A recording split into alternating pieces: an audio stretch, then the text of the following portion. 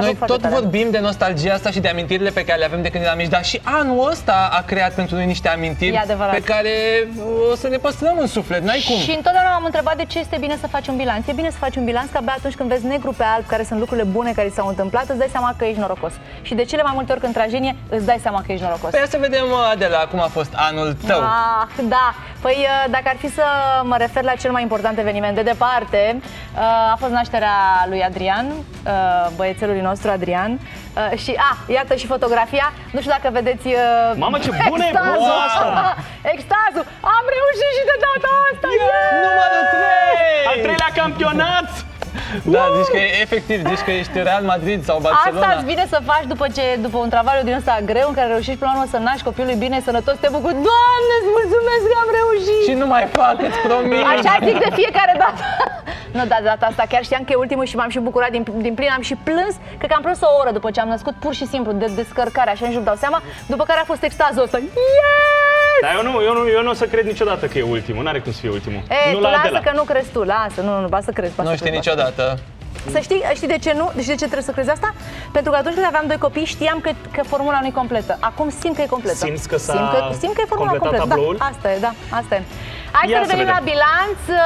Ce a mai momente fost un mai moment, avut? au, au fost mai multe, dar uh, unul, un moment pentru care mă bucur foarte mult este faptul că am reușit și anul acesta de ziua tatălui să ne adunăm în ciuda m, pandemiei și a faptului că bă, ne-a fost teamă, știi cum că la un moment dat ți-e teamă să te întâlnești chiar cu cei mai dragi, pentru că pe ei vrei să-i protejezi, dar noi ne-am testat așa cum trebuie și i-am făcut o petrecere surpriză undeva chiar lângă Șușani și ne-am adunat toată familia și a fost o zi jumate de vis. Știi momentul ăla, că știi că toată lumea e testată și puteți să vă luați în brațe după ce Da. nu v-ați mai luat un an jumate foarte sau... tare, da. Mamă, pentru mine... Și a fost uite o zi acum mi se minunată, ridică părul era pe cumva, se, se, se coceau, se, se, se coceau, se, Se coceau. se coceau, se coceau strugurii, uh, erau uh, dați în pârgă, așa cum se spune la noi și aveam acolo și o piscină și am făcut și baie și am avut o masă foarte tare seara și o cină frumoasă. fost perfect, A fost practic. foarte bine și un apus minunat, un apus minunat. Și mai aduce aminte de ceva de anul ăsta? Și, da, da, da, n-am, n-am cum să nu uit. A- Am ales o poză în care să fiți voi doi, pentru că, Nu cred. da, este pentru prima oară când ați venit voi în vizită la mine acasă, să vă bateți joc de Da. bradul meu pe care l-ați făcut în toate felurile în această emisiune, dar mă, că-i eu, drăguț, eu am mă. vrut să marchez de altceva această fotografie, faptul că ne-am întâlnit și că sunt foarte fericită că ne-am întâlnit și că suntem o echipă foarte tare. Și Ce sunt, drăguț sunt ești. bucuroasă de asta. Mulțumim mult! Stai să-mi Uh, șterg lacrima și vă spun și eu Hai, despre lasă, anul lasă, meu. lasă. Hai, eu, șurubel, eu ia am avut un an foarte fain. Uh, în primul rând, este anul în care am început să lucrez la Vorbește Lumea Bravo!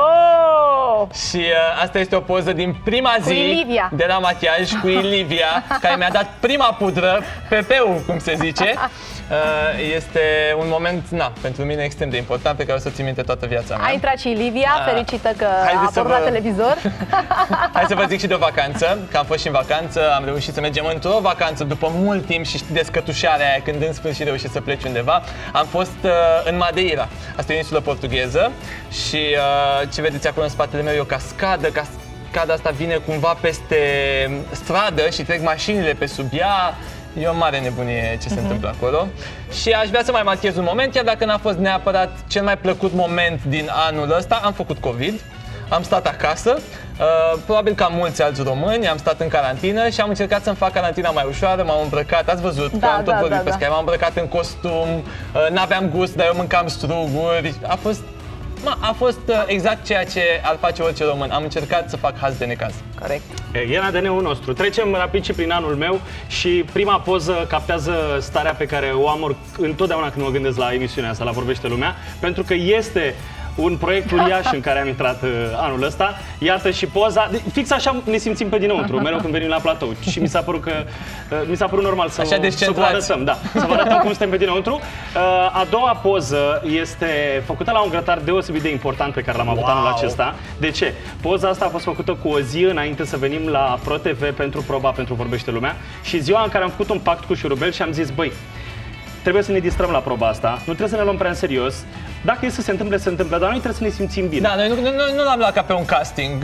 Noi am zis, domnule, mergem acolo, ne Fără distrăm. nicio presiune, fără nimic și mă bucur că am reușit să interiorizăm starea și chiar ne-am distrat foarte tare la proba respectivă și uite-ne aici în momentul ăsta. Exact, faceți bilanțul, da. Și uh, mai am o poză de arătat, uh, încă o poză pentru voi. Uh, Este E, Descrie vara mea, este foarte bogat. important să încercați Nu, lucruri nu noi e. în viața asta și eu am făcut pe comandantul de iaht uh, velier Are un uh, prieten. vara asta. Am învățat să conduc o barcă lungă de 17 metri, n-am reușit să o parchez, să mă cu șurubel, doar că el are asta cu mașina. Eu la barcă m-am chinuit un pic uh, și cam așa, cam așa a A, arătat e uh, iactul anul ăsta tău, pentru e mine. iactul tău, ești bogat? E, Ești hai, fi bogat? serioasă, dacă n-ai tu iaht, eu cu siguranță n-am, deci nu-ți face Să mai griji. treacă luna asta și scumperi din salariu. Da, da, da, da, da, da. Eu am, eu am alt contract uh, de la nu e ca al tău. Bun, uh, deci așa au arătat uh, Da. pentru noi uh, pozele anului 2021.